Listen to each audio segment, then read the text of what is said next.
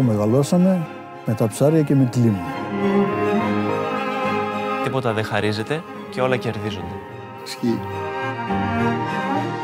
Αχ, είναι πολύ τώρα, συγγνώμη. This is my tiny home on wheels.